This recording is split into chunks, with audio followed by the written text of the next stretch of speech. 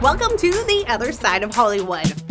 Diving into the successful career of a Hollywood icon who graced our silver screens for over six decades, we find ourselves in awe in Jack Nicholson's timeless contributions to cinema.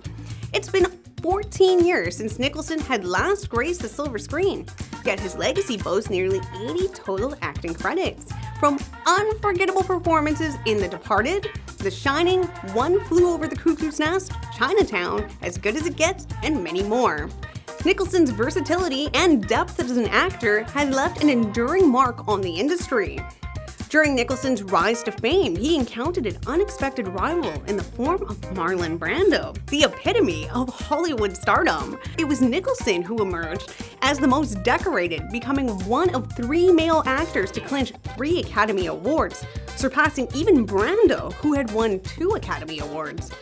Despite being from different eras, Brando perceived the budding Nicholson as a threat to his reign. However, as Brando became to recognize Nicholson's wild antics, it then seemed tensions eased. Nicholson was modest in claiming that they were friends, but they were neighbors for several decades. Their unique dynamic had paved the way for lasting mutual admiration, which endured even after Brando's passing in 2004.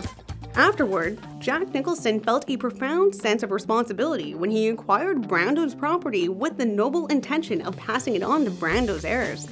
However, despite his best intentions, Nicholson was met with disinterest from Brando's 11 plus children.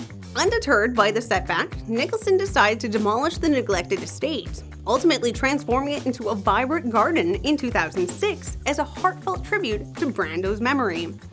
Looks like their stories were just as compelling in real life as their performances were on the screen. For now, Jack Nicholson has not yet officially retired, but he is enjoying a quiet life, doing whatever he wants to do. And that's it for the other side of Hollywood.